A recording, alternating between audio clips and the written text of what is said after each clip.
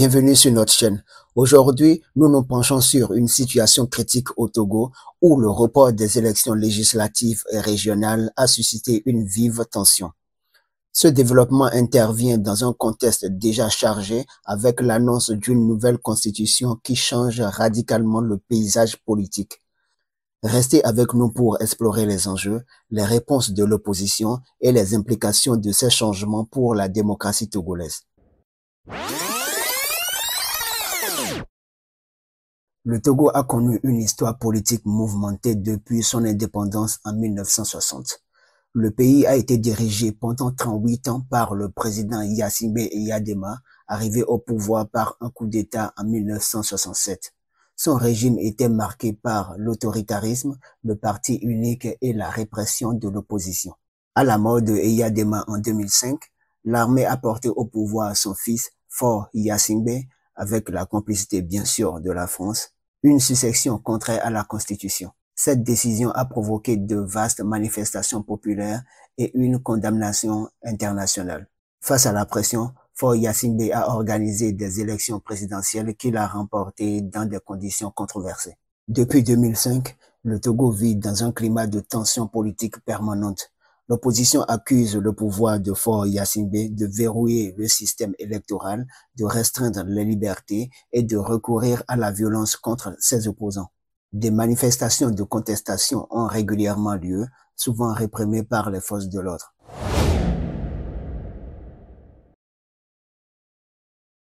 Le Togo était en pleine préparation pour ses élections législatives et régionales, prévues initialement pour le 20 avril. Cependant, un report soudain a été annoncé, plongeant le pays dans une incertitude politique. Cette décision a immédiatement attiré des critiques, surtout venant de l'opposition et des groupes de la société civile qui y voient un stratagème pour manipuler le processus démocratique. Face à ce report, quatre partis d'opposition majeurs incluant l'ANC de Jean-Pierre Fabre ainsi qu'une organisation de la société civile ont exprimé leur mécontentement. Ils ont appelé à des manifestations sur trois jours, malgré une interdiction en vigueur depuis 2022. Ces groupes exigent non seulement la reprise de la campagne électorale, mais aussi le retrait pur et simple de la nouvelle proposition de constitution. Et quelle est la nouvelle constitution et ses implications? C'est ce que nous allons voir. Au cœur de la crise se trouve la nouvelle constitution qui propose de transformer le régime présidentiel togolais en un système parlementaire. Cette modification donnerait à l'Assemblée nationale le pouvoir d'élire le président. Une manœuvre que beaucoup interprètent comme une tentative du président Faure Yassimbe de maintenir son emprise sur le pouvoir. La réaction a donc été vive avec des appels à des consultations plus larges et à un référendum. C'est dans la nuit de ce lundi 25 mars que le Togo est passé de la 4e à la 5e République. L'Assemblée nationale togolaise vient en effet d'adopter une nouvelle constitution. La nouvelle loi fondamentale du Togo est passée à 89 voix pour, une voix contre et une abstention. Selon ce texte, le président de la République sera désormais élu par les députés de l'Assemblée nationale et non plus directement par le peuple à travers un suffrage universel. La présente loi de révision constitutionnelle induira le passage de notre pays à une cinquième république avec une nouvelle image de la vie politique nationale au sein de laquelle l'Assemblée nationale et le Sénat jouent un rôle très important. Désormais, le président de la République sera élu pour un mandat de six ans. Il n'est plus élu au suffrage universel direct et ne dispose que d'un pouvoir symbolique. C'est le président du Conseil de gouvernement qui a l'effectivité du pouvoir exécutif.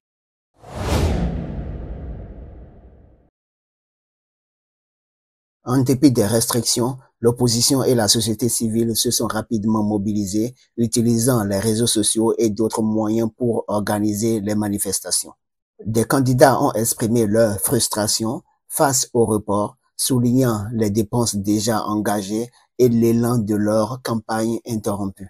De son côté, le gouvernement justifie le report des élections par la nécessité de réexaminer la nouvelle constitution promettant des consultations. Toutefois, beaucoup restent sceptiques quant à la sincérité de cet engagement, pointant du doigt une Assemblée nationale dont le mandat est questionné et une réforme jugée précipitée. La récente demande du président Faure pour une deuxième délibération de la nouvelle constitution togolaise cristallise les attentions et dans la presse, le débat s'anime. Pour l'opposition, il s'agit bien d'une manœuvre visant à maintenir le statu quo et à perpétuer le règne du président Faure Des membres de la société civile également jugent inopportune cette révision. La période est mal indiquée pour euh, le Parlement actuel de réviser la Constitution parce que le Parlement, son mandat caduque.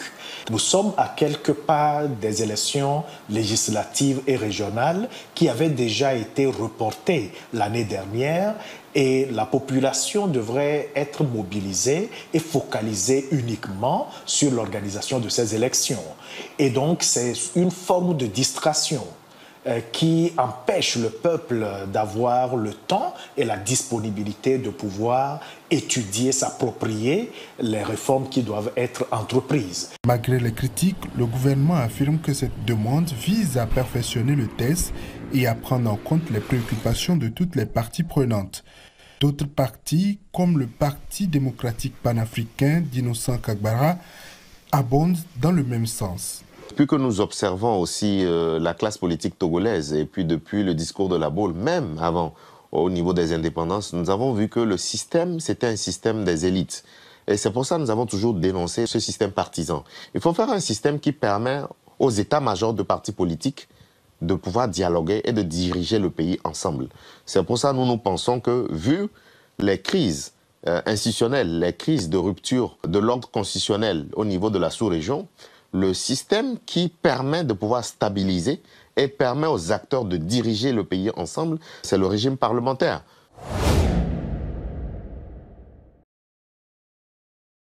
Des déclarations fortes ont été faites des deux côtés.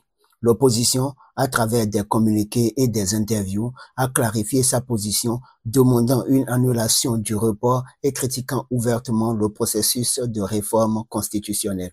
Par contraste, des responsables gouvernementaux ont pris la parole dans les médias défendant la légalité et la nécessité du report et de la nouvelle constitution. Écoutez, l'annonce du report des élections euh, législatives et régionales à J-1 de la campagne électorale euh, permettrait, euh, selon la présidence togolaise, d'engager, je cite, hein, de larges consultations nationales. Il faut dire que l'annonce officielle du changement de la Constitution suscite d'énormes remous. Une grande partie de l'opposition et de la société civile se disent farouchement opposés à un changement de régime sans passer par la case référendum et un régime dans lequel le chef de l'État ne serait plus élu au suffrage universel direct. Pour calmer le jeu, le président Faure a demandé une deuxième lecture de cette loi euh, qui divise les partisans euh, députés de la loi au Parlement et bien affiche une certaine sérénité. Écoutez. Nous avons entendu euh, par les médias un léger réaménagement du calendrier. Et nous prenons acte, nous sommes très sereins. Nous continuons la mobilisation, la pré-campagne. Je pense que si ça ne dépasse pas un certain nombre de jours, c'est euh, véritablement, il euh, n'y a pas de souci. Euh, mais pour la grande majorité des partis d'opposition, il faut purement et simplement retirer cette nouvelle constitution qui a été votée en plus par des députés, disent-ils, en fin de mandat depuis janvier. Et les Togolais ne comprennent pas pourquoi cette réforme est vraiment nécessaire. Pourquoi le, le régime s'entête à l'opérer.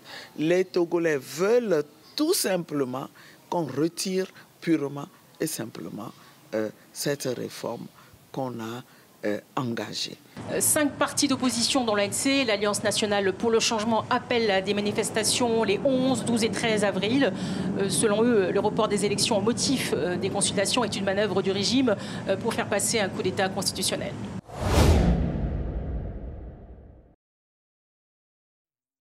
Ces événements soulèvent des questions profondes sur l'état de la démocratie au Togo. Le débat sur la nouvelle constitution et le report des élections reflètent une lutte plus large pour le contrôle et l'avenir politique du pays. Les implications vont au-delà des frontières togolaises, touchant à la stabilité régionale en Afrique de l'Ouest.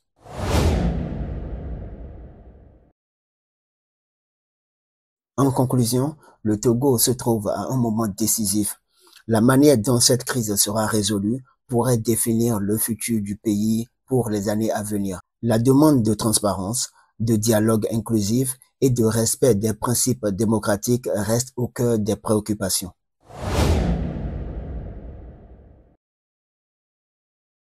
Koku Nusukpo, porte-parole de la DMK, devait être avec ses camarades mercredi, mais il n'a pas pu les rejoindre, ce qui lui a évité d'être arrêté. Aujourd'hui, il est très inquiet pour ses neuf collègues détenus au SCRIC, le service central de recherche et d'investigation.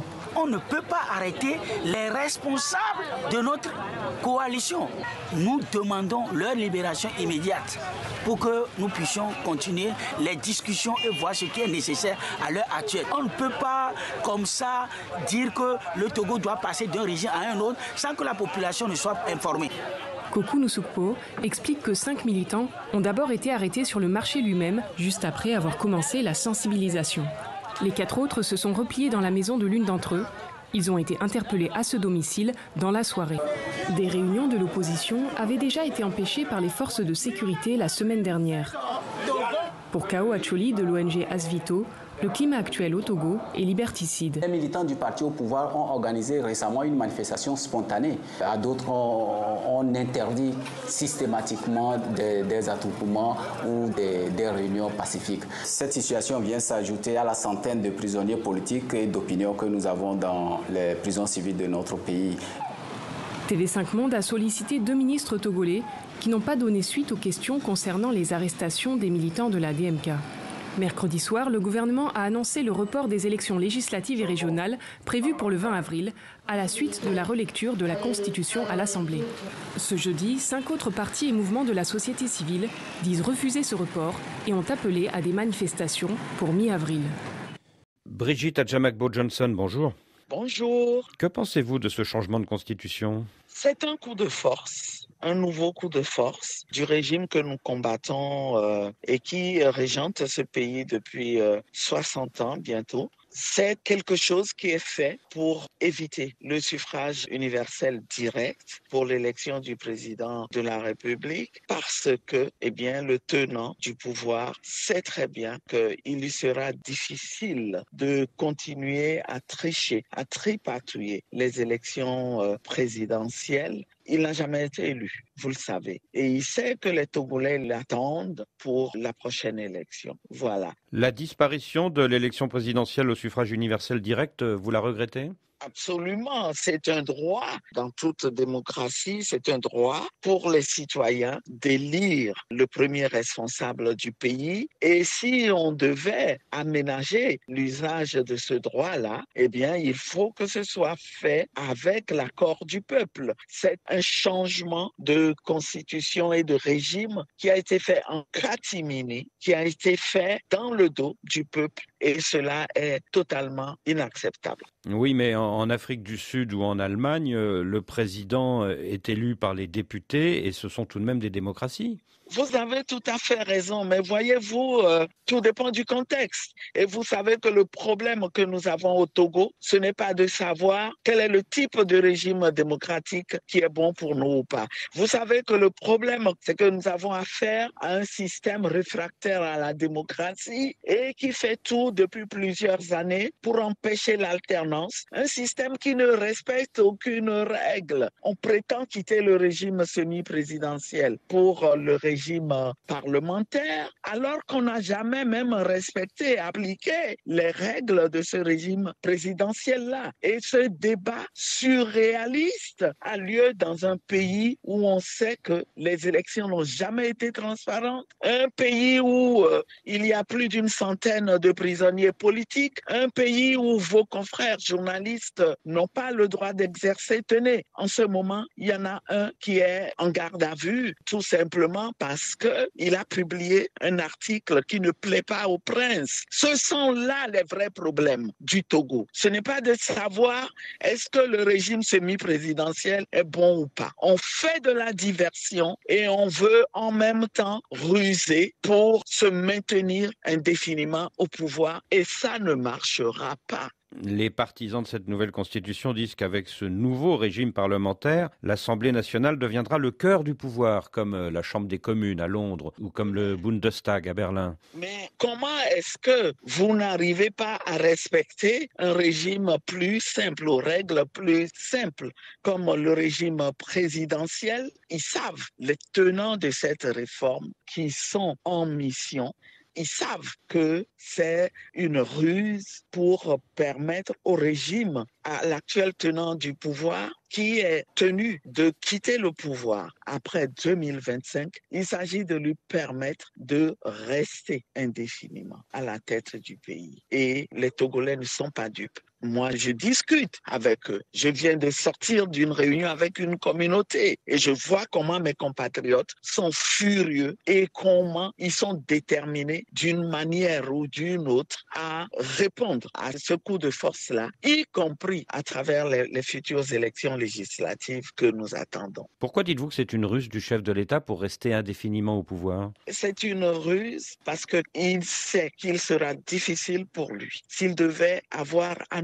une élection présidentielle en 2025, ce sachant d'avance vomi par le peuple et sachant comment en 2020 le peuple a mal ressenti ce vol des élections, eh bien, il sait qu'il lui sera difficile en 2025 de recommencer la même chose. Et pour couper court à tout, eh bien, l'astuce qui est trouvée, c'est de dire le peuple n'élira plus le chef de l'État, c'est un parlement qui élira le chef de l'État.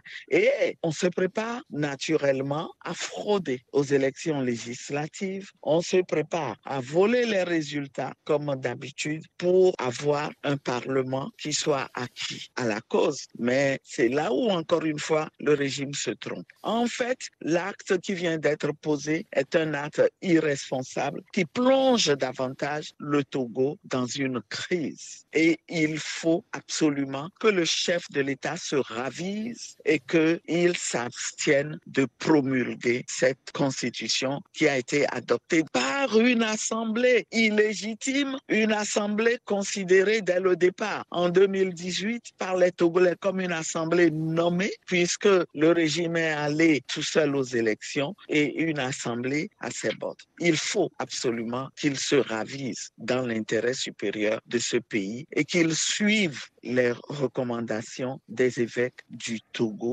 qui montrent la voie de la sagesse. Alors si cette constitution est promulguée et si le parti au pouvoir uni repasse le 20 avril prochain, le chef de l'État Fort Nassinbe ne sera plus chef de l'État, il deviendra président du Conseil des ministres. Comment pensez-vous qu'il partagera le pouvoir à ce moment-là avec le nouveau président de la République ou la nouvelle présidente de la République? Écoutez, il y a trop de si, voyez-vous, et nous ne voulons vraiment pas tomber dans le piège qui à nous imposer un débat sur la mise en œuvre de ce régime qu'on veut instaurer et qui n'est pas accepté. Le véritable débat aujourd'hui est de savoir si le régime a le droit de laisser se dérouler les choses selon cette procédure-là qui n'implique pas les Togolais cette procédure qui enlève aux Togolais le droit de se prononcer sur le régime politique qu'ils veulent pour leur pays. Et ça aussi, c'est inacceptable. C'est pour ça que nous nous battons. Nous disons que le vrai débat, c'est celui-là. Ce futur président du Conseil des ministres, il sera élu par les députés. Or, cette année, Brigitte Jamagbo Johnson, à la différence de 2018, vous allez participer à la tête de la DMP, la dynamique pour la majorité du peuple, et comme d'autres grands partis, hein, comme l'ANC de Jean-Pierre Fabre, aux législatives. Avez-vous l'espoir, le 20 avril, d'obtenir suffisamment de sièges pour peser sur le choix de ce futur président du Conseil des ministres? C'est un défi, un défi que nous devons tous relever et quelque part, les Togolais ont été réveillés et ils comprennent que une des voies pour contrer ce qui se fait, eh bien, c'est de considérer les élections législatives à venir, tout comme les élections régionales, comme étant des élections capitales. Et nous devons faire en sorte que les représentants du parti Unir et de leurs amis qui les ont aidés à opérer ce coup de force, que ces représentants soient éjectés des futures assemblées au niveau national comme au niveau des régions et c'est ce à quoi nous nous employons. Et je sors d'une réunion avec une communauté, moi j'ai dans mon propre parti des militants qui me disent nous n'étions pas d'accord avec votre ligne de participation à ces élections, mais je dois vous dire avec cette nouvelle actualité, nous sommes 100% d'accord, nous irons voter. Voilà. Dans la nouvelle constitution, le président du Conseil des ministres sera élu par les députés pour un mandat de six ans, mais il pourra éventuellement être renversé par ces mêmes députés à l'issue d'une motion de censure. Est-ce que cette hypothèse euh, pourrait ouvrir le jeu démocratique à vos yeux? Ce que je peux vous dire, c'est que ce régime-là, au contraire, est porteur d'instabilité. Et ce régime complique davantage la situation du Togo, qui est un pays où il y a un système qui se prévaut du soutien de l'armée, de la mainmise sur les ressources du pays pour se maintenir. Dans ce contexte-là, nous allons droit vers l'aventure. Le régime parlementaire est un régime qui fonctionne bien comme nous le voyons dans des pays ayant déjà une culture démocratique établie. Or, il se fait qu'au Togo, nous avons une minorité, mais une minorité forte qui se bat bec et ongle contre la démocratie. La nouvelle constitution ayant été adoptée par l'Assemblée euh, ce 25 mars, euh, le chef de l'État doit la promulguer dans les 15 jours qui suivent, c'est-à-dire d'ici le 8 avril. Est-ce que cela change votre stratégie de campagne électorale? Écoutez, forcément, nous ferons campagne pour que aucun représentant de ce pouvoir-là ne soit élu. Nous ferons campagne pour que leurs amis ne soient élus. Et les listes sont déjà publiées, mais voyez-vous, il y a déjà des rapprochements entre partis de l'opposition et forcément, nous devrons envisager au lendemain de ces élections-là de resserrer les rangs de l'opposition et d'avoir une majorité élargie soudés pour faire face aux turpitudes qui nous attendent. Donc cette nouvelle constitution vous rapproche de l'ANC de Jean-Pierre Fabre? Écoutez, quand le pays est en danger, eh bien, les partis de l'opposition doivent tous forcément envisager, au lendemain des élections, d'aborder la vie politique en rang serré. Vous vous reparlez avec Jean-Pierre Fabre? Mais cela n'a aucune importance, Monsieur Boisbouvier. Je ne sais pas pourquoi vous, vous me posez cette question. En tant que responsable politique, au nom de l'intérêt supérieur, on a intérêt, on a le devoir de se parler et d'aller ensemble et de travailler ensemble. Brigitte Adjamakbo Johnson, merci.